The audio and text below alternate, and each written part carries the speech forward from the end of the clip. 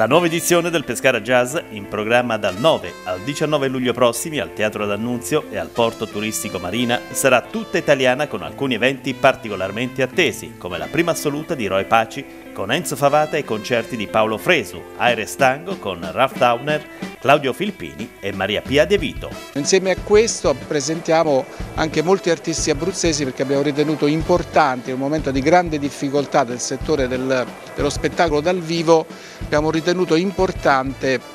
investire risorse sul territorio e quindi dare una mano ai musicisti, agli artisti e ai lavoratori abruzzesi che hanno avuto dei momenti, dei mesi di stop, quindi questo a testimonianza del fatto che il settore dello spettacolo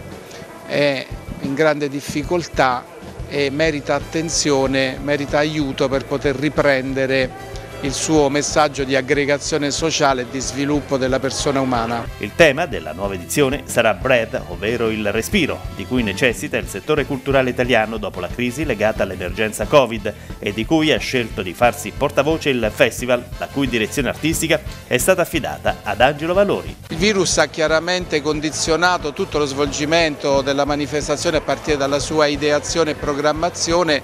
per esempio non ci saranno gli artisti internazionali, soprattutto statunitensi, perché non possono accedere nel nostro paese in questo periodo.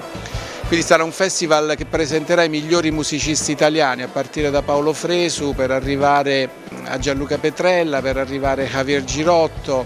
che è un argentino ma ormai naturalizzato italiano. Avremo un altro grande ospite internazionale residente nel nostro paese da tanti anni che è Ralph Towner che tutti quanti ricordiamo il famoso gruppo degli Oregon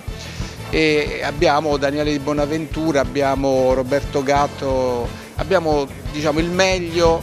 del jazz italiano.